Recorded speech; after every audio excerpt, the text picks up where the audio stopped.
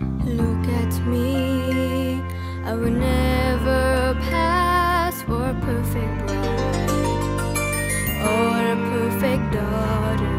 Can it be? I'm not meant to play this part. Now I see that if I were true.